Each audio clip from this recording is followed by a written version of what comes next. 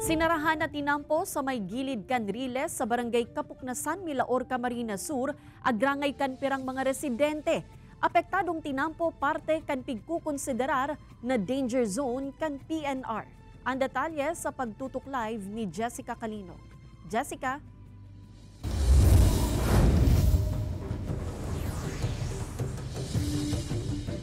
Kate hasta sa 6 meters away from the center line kan Riles and pigko-konsiderar na danger zone kan Philippine National Railways asin ano man na bagay o agihan pati na nga ni mga tao na nasa loob kan danger zone na iyan delikadong masabitan kan maaging tren.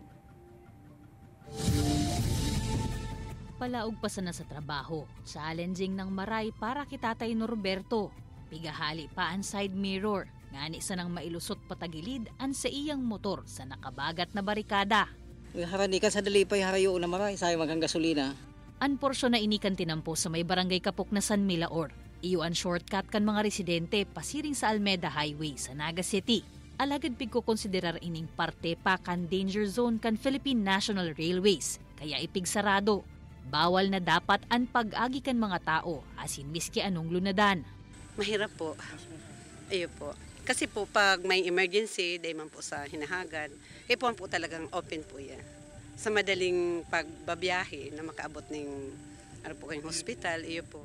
Pigbibisto man subuot kan barangay na pagsasadiri kan PNR ang imbueltong tinampo. Alagad inkumbinyente para sa mga nagdadialysis na pasyente. Asin masakit naman na ma-access kan mga response team and kasong may emergency. Taan sa indang lokasyon, harayo sa sentro kan Milaor. lugod ah ma tawan kami ng konsiderasyon and willing po ang mga taga-barangay sa pamamayukan mga barangay officials na mag, mag magtukaw. As in i-discuss kung ano man po ang mga pwede sir na proteksyon para po ah, ma-preserve po ang sa proper- property. And willing po kami na mag-augment kan sa inyong mga personahe. Sa barangay Kapuknasan, piga-assure mi po na sisikapon mi na mayong aksidenteng mangyari digdiyo pag may nag-aagi po ang train. Ta, permi po yan disseminated na igwang maagi ng train. Aram naman po kang mga tao digdiyo na ang schedule ninda. Sigun ki Engineer JP Relieve, pigi-evaluate pa kan manhamiento kan PNR ang request kan barangay na bukasan liwat ang sinaradong tinampo. Taong 2016 pa kan isara kan PNR ang tinampo sa barangay Kapuknasan, huli sa safety issues. Harani sa Riles kan tren, pabalyo pa sa Almeda Highway.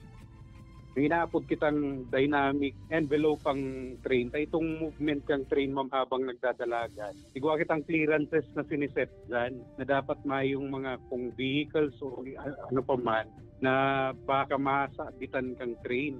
Kaya yan po ma'am, sinarata sa delikado Sa mga masunod na bulan, nakatalaan pang dagdagan kan PNR ang mga biyahe kan tren na Naga-Legazpi and vice versa. Ang pagsarado kan unauthorized crossings, asin iba pang tinampo na sakop kan danger zone kan PNR, lakdang, nganing makalikay sa posibleng mga aksidente.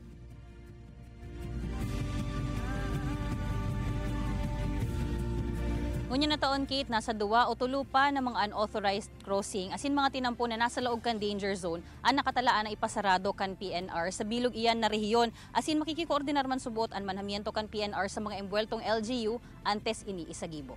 Kate? Alright, Jos Mabalos, Jessica.